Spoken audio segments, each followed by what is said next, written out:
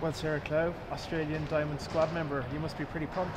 I'm very pumped, very excited to be part of the squad. Obviously, it's a huge honour to be part of such a, an amazing environment, and uh, I'm really looking forward to it. You shared a photo earlier this week of a very young Sarah Klau with the then Australian Diamond squad. Did you ever think that you'd one day be part of that? Oh, it's pretty crazy to think. Um, obviously, it was always a huge goal of mine, but to actually be in that position now, um, I've always looked up to those girls, um, and yeah, to be part of it now is pretty crazy, but very exciting. You've obviously come on a huge amount since you've come to the Swifts. You know, you've played MVP games for the club, and now you're in the Diamond squad. It must be really satisfying to see how much you've developed since coming here.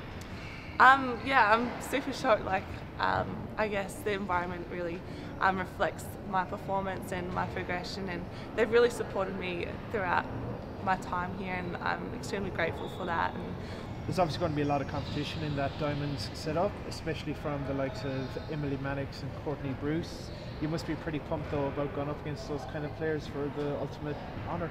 yeah, definitely, they're all such quality players, and um, being announced in the squad is only the first step. There's obviously a huge amount of work to go, and um, it's only the first step. So I really need to prove myself and work really hard and earn a position in that team. So I'm really looking forward to the challenge.